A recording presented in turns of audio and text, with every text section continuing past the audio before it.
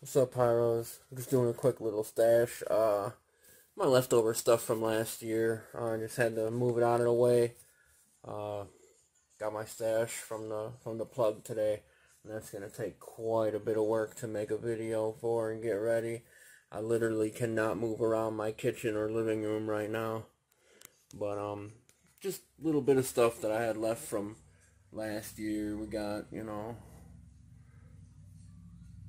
Kris Kross, Mammoth Peony, Huge White Strobe, We Gotta Believe, and uh, American Anthem from Raccoon, Noabs, got a Lighthouse, got the box of miscellaneous hitters. Here we got uh, random ball shells and a bunch of lock and load. This What a Blast was part of a 500 gram assortment from Raccoon along with the huge white strobe.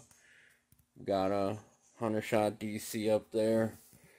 Here we got, you know, Lovers and Jean Grey.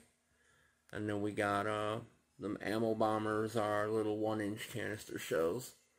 Nothing particular special about them. I don't even have a tube to shoot them out of. So, got my little uh, fail that I made and tried to shoot off on New Year's Eve.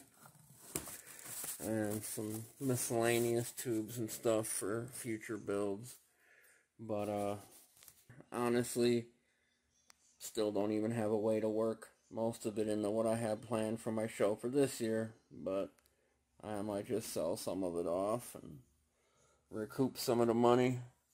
But, yeah, that's it, guys. Just wanted to do a leftovers vid. And uh, my next stash vid will be coming up hopefully in a day or two. Talk to you later.